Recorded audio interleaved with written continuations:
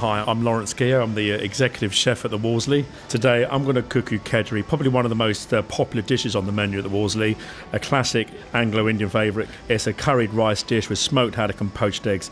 It's a true absolute breakfast favourite here.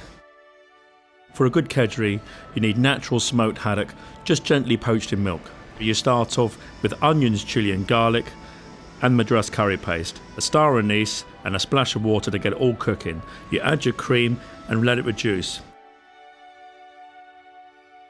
So this is our kedgeree sauce.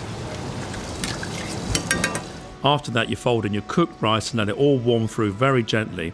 Then goes in your smoked haddock last. You can squeeze it at a touch of lemon juice in last minute so the dish is not too rich, it cuts the cream and it's ready to serve. Have a hot bowl ready, pour in your kedgeree, Make a little dent for your poached egg to sit in the middle, and a drizzle of olive oil and of some coriander cress, and it's ready to serve. And there you have it, a delicious bowl of kedgeree from the Wolseley.